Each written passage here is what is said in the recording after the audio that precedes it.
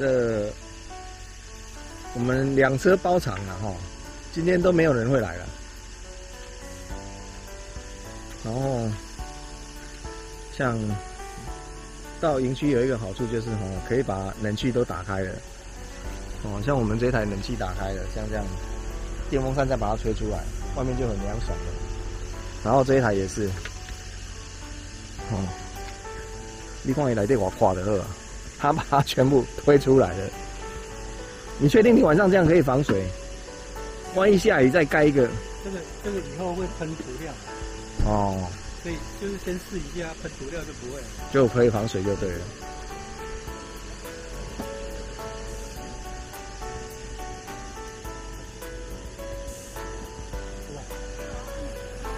这就是 DIY 好玩的地方。啊，不然可以买现成的，为什么不买现成的？为什么你要把它搞得这么累呢？不是，因为没有钱买。因为没有钱买车。啊，你看这内底空间偌大的啊，你看哦，哦，内底有冷呢。哎，你看这样子刚刚好，你看。哎，有温度计。哎呦，舒适嘞！哦，你开十九度啦你。真的，内底有冷就对。不过你讲暗时困会寒，哦。测一下。你说你温度计啊？你要什么测？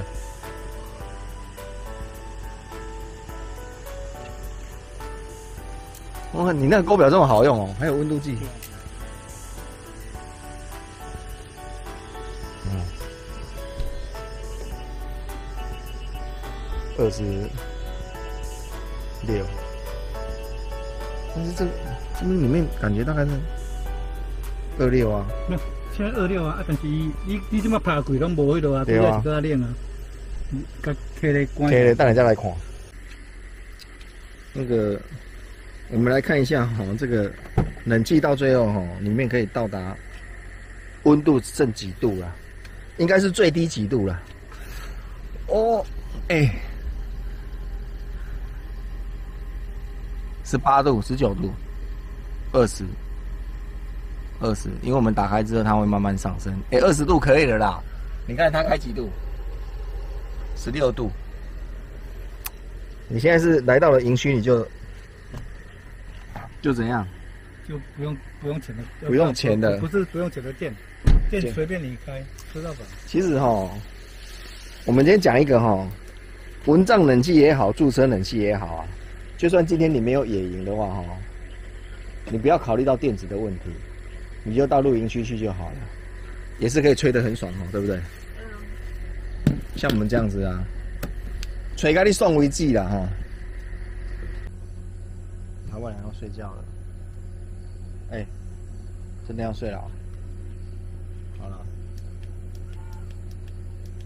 我都睡了，你又叫我，我们就把该充电的充一充吧，嗯，因为建议各位睡觉前把你们明天会用到的电器用品充一充，你知道为什么吗？因为不确定会去有电的地方。对，因为。不确定会去有电的地方，讲的真好，而且你还有啤酒在上面，你很夸张。嗯？你要放哪里呀？脚踏板那的。嗯，真的你很夸张。那给我。那你看，这是我们刚刚睡觉前充的哈，那它一闪一闪一闪，表示它都还是在充电。那我们是接，对，刚刚有一个充好了，我插上去它就开始。我们是在营区啊，所以我们是利用这个，哦，这个插电。那这个是空的，没有用到。这个，这个插座还不错啦，因为我们接了营区的电，所以我们的一百一就可以用。其实这是用营区的电哦。露营车的好处就是，当你接上了。试电，所谓的试电就是一百亿的电之后，我们车上所有的插座可以使用，在不经过逆变器的情况下，我们还是可以使用试电。那基本上这一颗小颗的应该是已经充饱了啊，因为我刚刚从插上去，它会一闪一闪。那我们再把另外一颗拿出来，这个啊，这个是最长的，来充电，这样我们隔天就可以使用了。其实台湾的露营区是很方便的啦。为什么台湾露营区很方便？啊，老板娘，台湾为什么露营区很方便？如果你今天你不想，可以一天到露营区，一天不要到露营区。我们进露营车是为了干嘛？补电，对。洗澡。洗澡补电的方便啊。那我们可以享受一天野营洗澡，一天露营区，一天野营洗澡，一天露营区，这样来完成环岛其实也不错啦。哦。那如如果你想要挑战全部都野营也是可以的，不过变成说你车上的配备要怎么样？非常的充足，因为光电就是一个非常非常难的一个问题啊。因为每天要充电，当你遇到像我们今天阴天的时候怎么办？没有太阳能，你只能用车充。对，那车充很多人会觉得有问题啊，但是有些人又觉得还好啦，所以就是看各取所需吧。当车充不行，还有另外一个方法就是什么？接发电机也是一个方法好，我们要睡觉了，晚安。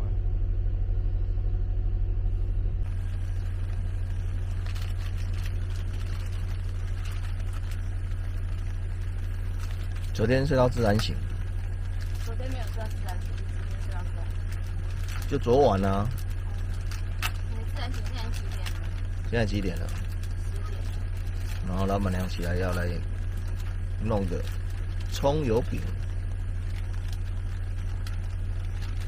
觉得那你的电脑较细哦，我没有带原锅。嗯。然后现在外面下着雨，那。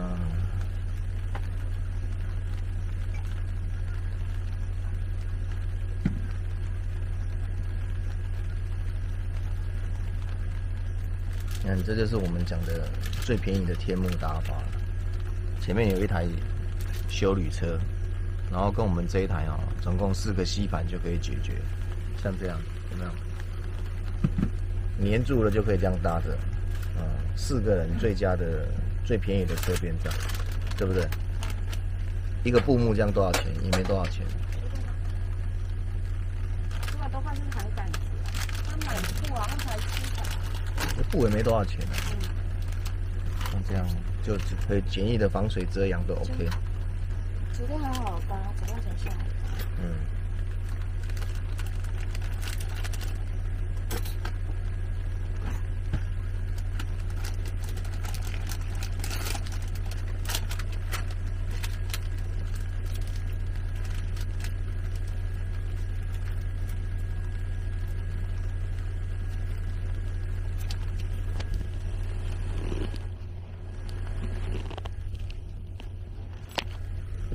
早上起来就是泡泡咖啡，哦，吃吃葱油饼，那我们就是用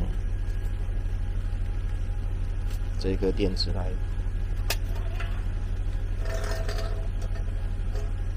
来煮了。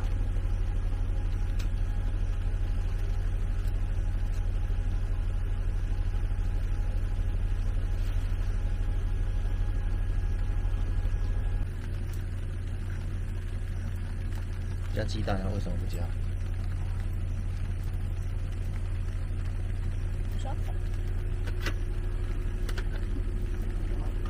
我问你为什么没有盖盖子啊？你好危险！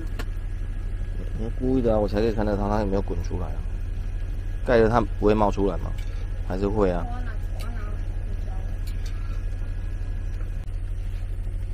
像这种小小的快煮壶哈，是很方便的，因为。煮个热水，这个煮个热水大概几分钟？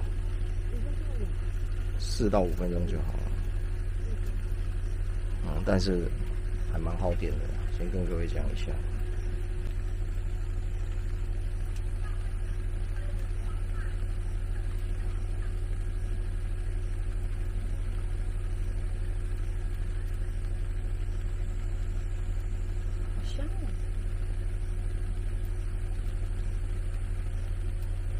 又浓又香啊！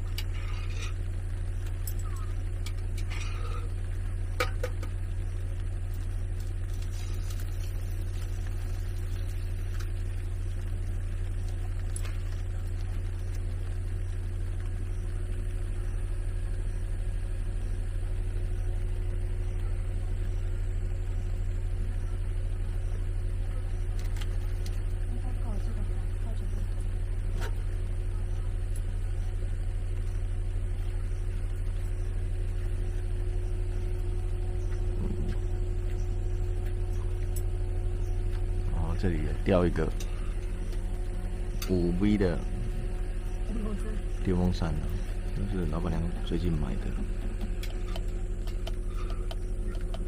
这有四段呢，基本上用怕潮的人可以选择这种电风扇，但是它的风力就是最大就是这样。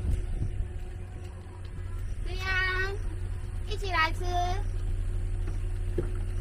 你们吃了没？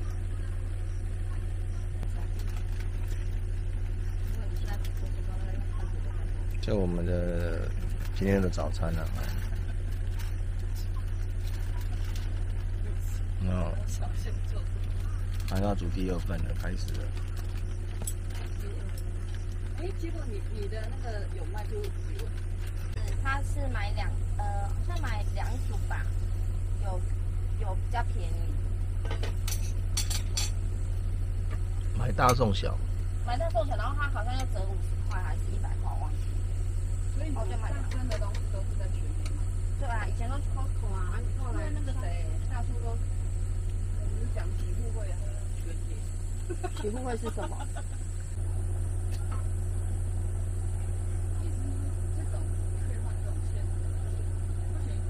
这种可以用右边线的，嗯，右边线的机。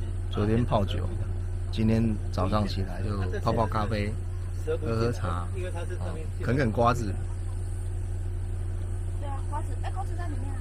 然后就给床在手服务业，在户户外就是一人一只电风扇。手机充电。对啊，夏天到了，你不知道对啊吗？，你看他那个也是一人一只，对啊，每一个人都一人一只这。样子吹起来很凉。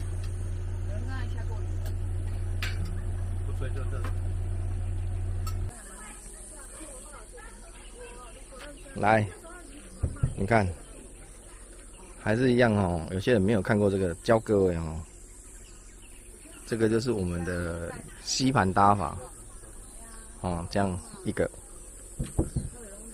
哦啊，因为它这样连接它的，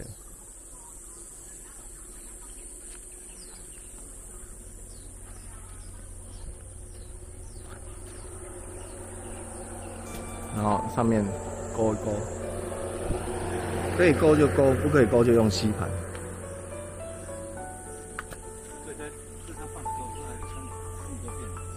个也是，这个也是吸盘，搭着就很方便了，就不用不用挂一个车边帐。那、如果说你这边这边挂一个车边帐也是很方便，但是依现在的车博的那个叫什么？呃，问一下老板娘好了，为什么不装车边帐？嗯，我们发现现在很多人哦，他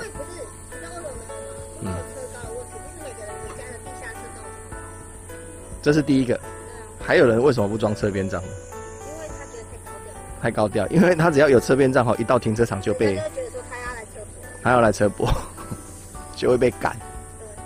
所以有时候哈不用车边帐，你当你没有车边帐，最好的方式就是像这样子，一块天幕带着，四个吸盘带着，哦，那他六个啦，四个有点少。六个哦，嗯六到八个跟磁铁哦，嗯，再加上两根竹树。阿爸，你要记得约朋友。哎，像这样子约朋友，你们的靠山。你看，一定要一台啊，不然的话怎么办？阿爸就要带银柱哦。